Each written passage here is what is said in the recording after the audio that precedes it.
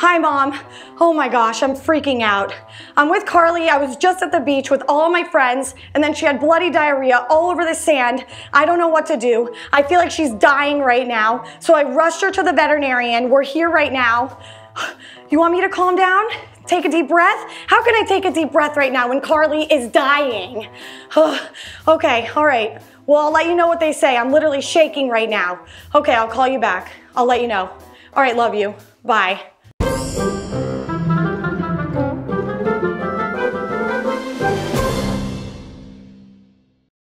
So there's blood in your dog's stool. Do not panic. In this video, I'm gonna go over several reasons why your dog may have blood in their stool and why you do need to go to your veterinarian. Okay, so I'm gonna teach you guys two words to help you describe the blood that you're seeing in your dog's poop. So the first word is called hematochezia, and this is bright red blood that you'll be seeing in your dog's stool. This is fresh blood, and it normally comes from the lower digestive tract and the colon. So there are several things that cause this type of bleeding. The first one is viral, parasitic, or bacterial infections that can be in your dog's lower intestinal tract. The most common and scary one is parvovirus in puppies. So this one, you're gonna really wanna bring your dog to the veterinarian where they need to be hospitalized and treated. A less scary one is Giardia or hookworms. And this type of bleeding can be easily treated with some pills and medication to help alleviate your dog's bloody stool. There are other parasites that cause bloody stool that I'm not gonna mention today. So the second thing is called HGE or hemorrhagic gastroenteritis. And this is a super common reason to see blood in your dog's stool. This can be from dietary indiscretion like treats or new bones or feeding your dog some steak like table scraps at the dinner table. That's gonna cause your dog to get an upset stomach and you'll see blood in their stool. Other things like what might have happened to Carly today is like drinking some salt water at the beach and that can cause their stomach to be upset and cause bloody stool. There are other reasons like anxiety or stress from maybe a thunderstorm or having too many friends over that can cause your dog to have bloody stool as well. So remember, don't panic right away. The third reason is always cancer. So there can be some type of tumor in your dog's colon that can cause them to be bleeding. But don't panic again, this is normally in very old dogs that get these types of tumors. You also need to talk to your veterinarian and have diagnostics done to make sure that they do have some sort of cancer and that it's not something else. The next word is called melena. And this is dark, sticky, tarry stool that's almost jelly-like. And this blood has been digested or swallowed, indicating a problem in the upper digestive tract. The three most common reasons that you're gonna see melena is from one, a foreign body or a toy or something ingested by the dog that they shouldn't have eaten, causing irritation in the stomach and the small intestines. And then you're gonna see that black tarry stool come out in their poop. The second reason, and a very common reason, is from stomach ulcers. So dogs that are on NSAIDs, such as Rimadyl or Deramaxx or Previcox, these are like Advil drugs for dogs that can cause stomach ulcers. Another thing that causes stomach ulcers is kidney disease because they get an increase in some values like BUN and creatinine that irritate the stomach lining and cause bleeding in the stomach and the small intestines that you'll then see that digested blood in the stool.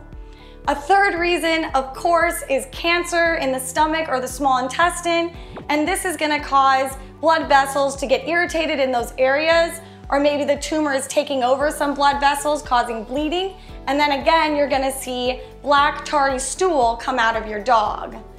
Geez, there is a lot of cancer in these bloody stool cases. But don't freak out right away. Remember, these cancer cases are mostly old, decrepit, and skeletor dogs that get these things. So don't panic right away and always go to your veterinarian for more diagnostics. So what are you supposed to do when your dog has bloody diarrhea? The first thing that I recommend is fasting your dog for 12 to 24 hours.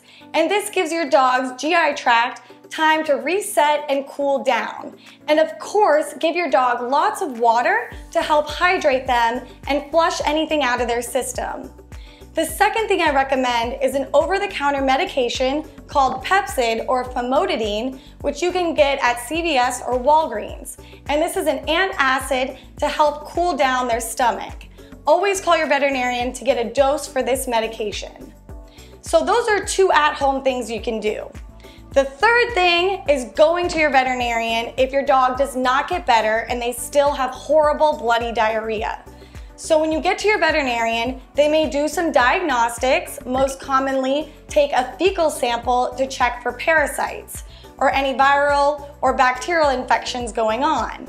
The other thing your veterinarian might do is blood work if your dog is older, and then of course recommend x-rays or an ultrasound if they suspect your dog has eaten something or might have a mass or a tumor or something going on inside their stomach that they can't see from blood work. All right, then your veterinarian is gonna prescribe medications. So the most common one and the one I like to use is called Flagyl or metronidazole, and this is an antibiotic that helps cool down their intestinal tract and decrease the inflammation and help treat diarrhea in dogs.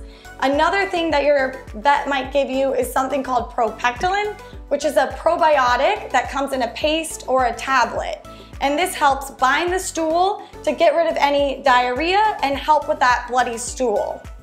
A third thing they might do is give your dog a steroid like prednisone and this will help with inflammation in their stomach if your dog has HGE, which we talked about earlier, or inflammatory bowel disease. So those are three common things your veterinarian might do. They also might hydrate your dog with fluids and give them some injections to help perk them up for the day. Wow guys, we just learned a lot today about bloody poop.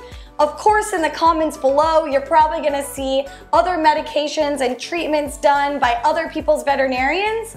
Please feel free to comment below about what your vet's prescribed to your dog so we can all have a big discussion about it and learn more on how we can treat our dog's diarrhea too. If you guys like this video, hit that thumbs up because YouTube knows that the thumbs up means that you learned something from this video. And like always, hit that subscribe button and hit the bell to get notifications for when I post more videos.